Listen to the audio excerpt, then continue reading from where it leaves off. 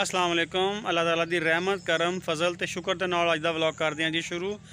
ਅੱਜ ਕੱਲ ਮੱਕੀ ਦੇ ਵਿੱਚ ਜਿਹੜੀ ਬਹੁਤ ਜ਼ਿਆਦਾ ਬਿਮਾਰੀ ਪਿਛਲੇ ਕੁਝ ਦਿਨਾਂ ਤੋਂ ਕੁਝ ਮਹੀਨੇ ਤੋਂ ਦੇਖੀ ਗਈ ਜਿਹੜੇ ਲੋਕ ਚਾਰੇ ਵਾਸਤੇ ਮੱਕੀ ਬੀਜਦੇ ਸੀਗੇ ਜਾਂ ਜਿਹੜੇ ਲੋਕ ਪਕਾਵੀ ਜਾਂ ਛਲੀਆਂ ਵਾਸਤੇ ਬੀਜਦੇ ਸੀ, ਜਿਨ੍ਹਾਂ ਨੇ ਛਲੀਆਂ ਵੇਚਣੀਆਂ ਹੁੰਦੀਆਂ ਦਾਣੇ ਕੱਢ ਕੇ, ਉਹਨਾਂ ਨੂੰ ਬਹੁਤ ਜ਼ਿਆਦਾ ਮਸਲਾ ਆਇਆ ਮੱਕੀ ਦੀ ਸੁੰਡੀ ਦਾ।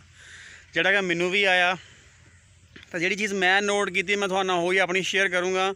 ਲੋਕਾਂ ਨੇ ਬਹੁਤ ਬਹੁਤ ਸਪਰੇਆਂ ਕੀਤੀਆਂ, ਮੈਂ ਵੀ ਪੰਜ ਸਪਰੇਆਂ ਕਰਤੀਆਂ ਹਲਕੇ ਸਪਰੇਆਂ ਸਿਰਫ ਦੋ ਹੀ ਹੁੰਦੀਆਂ ਹੁੰਦੀਆਂ ਵਾ ਤੇ ਪੰਜਾਂ ਸਪਰੇਆਂ ਤੋਂ ਬਾਅਦ ਵੀ ਰਿਜ਼ਲਟ ਕੋਈ ਖਾਤਰਖਾਹ ਨਹੀਂ ਨਿਕਲਿਆ।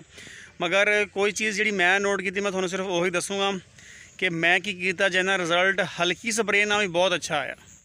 ਆ ਹੈਗੀ ਆ ਜੀ ਮੇਰੀ ਮੱਕੀ ਦੀ ਫਸਲ ਜਿਹੜੀ ਇਸ ਟਾਈਮ 40 ਦਿਨ ਦੀ ਆ, ਪਾਕ ਅਫਗੋਈ ਦੀ ਇਹਦੀ ਪਿਛਲੀ ਵੀਡੀਓ ਜਿਹੜੀ ਮੈਂ ਚਾੜੀ ਸੀ ਉਹ ਵੀ ਆ ਦੇਖੋ ਆ ਚੀਜ਼ ਆ। ਇਹਨੂੰ ਹਾਲੇ ਵੀ ਲੱਗੀ ਹੋਈ ਆ, ਕੋਈ ਕੋਈ ਪੌਦੇ ਜਿਹੜੇ ਆ ਨਾ, ਇਹ ਆ ਦੇਖੋ, ਆਹ ਚੀਜ਼।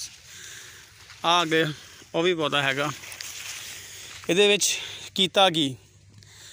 ਐਸੀ ਮੱਕੀ ਰੁਕੀ, ਇਸ ਵਾਰੀ ਮਤਲਬ ਚਾਰੇ ਵਾਸਤੇ ਜਿਹੜੇ ਲੋਕ ਮੱਕੀ ਬੀਜਦੇ ਆ 40 50 ਦਿਨ ਚ ਮੱਕੀ ਤਿਆਰ ਹੋ ਜਾਂਦੀ ਆ। ਪਾਕ ਕੋਈ ਸਪੈਸ਼ਲੀ ਬਹੁਤ ਅੱਛੀ ਸਪੀਡ ਨਾਲ ਚੱਲਦੀ ਹੈ ਅਗਰ ਤੁਸੀਂ ਉਹਨੂੰ ਥੱਲੇ ਖੁਰਾਕ ਚੰਗੀ ਦਿੱਤੀ ਹੋਵੇ।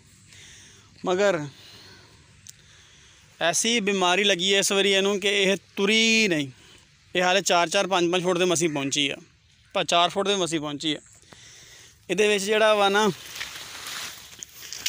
ਕਈ ਲੋਕ ਕਈ ਸਪਰੇਆਂ ਰਿਕਮੈਂਡ ਕਰਦੇ ਸੀਗੇ, ਕੋਈ ਬਾਇਰ ਦੀ ਦੱਸਦਾ ਸੀਗਾ, ਕੋਈ ਕਿਸੇ ਕੰਪਨੀ ਦੀ, ਕੋਈ ਕਿਸੇ ਕੰਪਨੀ ਦੀ ਸਪਰੇਆਂ ਮੈਂ ਵੀ ਕਈ ਕੀਤੀਆਂ। ਮਗਰ ਜਿਹੜੀ ਸਪਰੇਅ ਨੇ ਮੈਨੂੰ ਰਿਜ਼ਲਟ ਦਿੱਤਾ, ਜਿਹਨੇ ਮੱਕੀ ਇੰਨੀ ਕੁ ਤੋੜਤੀ ਮੇਰੀ, ਉਹ ਸੀਗੀ ਸਿਰਫ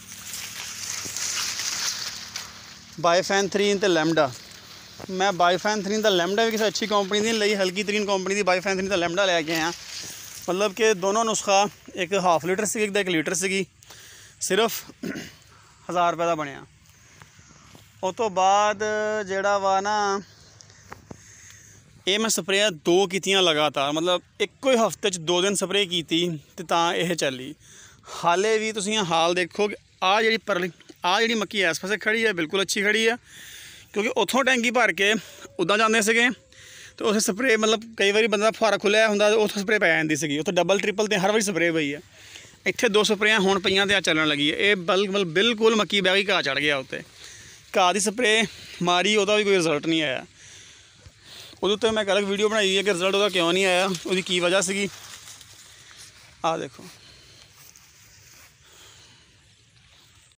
ਮੈਂ ਤਾਂ ਤੁਹਾਨੂੰ ਇਹ مشورہ ਦਊਂਗਾ ਜਿਹਨਾਂ ਲੋਕਾਂ ਨੇ ਚਾਰੇ ਵਾਸਤੇ ਪਕਾਵੀ ਮੱਕੀ ਬੀਜੀ ਹੋਈ ਹੈ ਨਾ ਉਹ ਸਿਰਫ ਬਾਇਫੈਂਥਰੀਨ ਦਾ ਲੈਮਡਾ ਦੀਆਂ ਦੋ ਸਪਰੇਆਂ ਲਗਾਤਾਰ ਇੱਕੋ ਹਫਤੇ 'ਚ ਕਰ ਦੇਣ ਤੇ ਬਹੁਤ ਹੱਦ ਤੱਕ ਫ਼ਰਕ ਪੈ ਜਾਊਗਾ।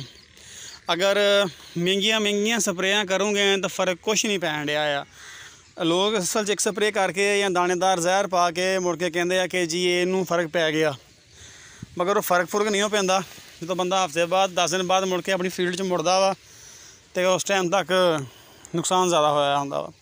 ਹਫ਼ਤੇ 'ਚ ਦੋ ਸਪਰੇਆਂ ਮੈਂ ਮਾਰੀਆਂ ਬਾਇਓਫੈਂਥਰੀਨ ਲੈਮਡੀਆਂ ਦਾ ਲੈਮਡਾ ਦੀਆਂ ਤੇ ਬਹੁਤ ਅੱਛਾ ਰਿਜ਼ਲਟ ਮਿਲਿਆ। ਇਹਦੇ ਵਿੱਚ ਟੈਂਕੀ 'ਚ ਜਿਹੜਾ ਵਾ ਨਾ 100 ml ਲੈਮਡਾ ਪਾਉਣੀ ਆ ਤੇ 50 ml ਬਾਇਓਫੈਂਥਰੀਨ ਪਾਉਣੀ ਆ ਤੇ ਤਾਂ ਇਹਦਾ ਰਿਜ਼ਲਟ ਲੱਭਣਾ ਵਾ ਤੇ ਪੰਜ ਟੈਂਕੀਆਂ ਠੋਕ ਕੇ ਮਾਰਨੀਆਂ। ਇੱਕ ਚੀਜ਼ ਜਿਹੜੀ ਹੈਗੀ ਆ, ਉਹ ਕਿ ਸਪਰੇਅ ਦੀ ਮਿਕਦਾਰ ਸੋ ਸ਼ਾਵਰ ਜਿਹੜਾ ਤੁਹਾਡਾ ਫੁਹਾਰਾ ਥੱਲੇ ਨੂੰ ਹੋਵੇ, ਉਹਦਾ ਮੂੰਹ ਤਾਂ ਨੂੰ ਨਾ ਹੋਵੇ, ਇਹਦੇ ਉੱਤੇ ਗੋਬ ਦੇ ਵਿੱਚ ਮਤਲਬ ਪਾਣੀ ਪਵੇ ਸਪਰੇਅ ਵਾਲਾ ਤਾਂ ਕਿ ਉਹ ਪਾਣੀ ਅੰਦਰ ਜਾਵੇ। ਪਾਣੀ ਜ਼ਿਆਦਾ ਮਾਰਨ ਦਾ ਮਕਸਦ ਵੀ ਇਹੀ ਹੈ ਕਿ ਪਾਣੀ ਜਿਸ ਜਿਸ ਪੌਦੇ ਦੇ ਪਾਣੀ ਅੰਦਰ ਜ਼ਿਆਦਾ ਜਾਊਗਾ, ਉਹ ਪਾਉਣ ਦਾ ਜ਼ਿਆਦਾ ਅੱਛਾ, ਸਿਹਤਯਾਬ ਹੋਊਗਾ। Okay, yo la.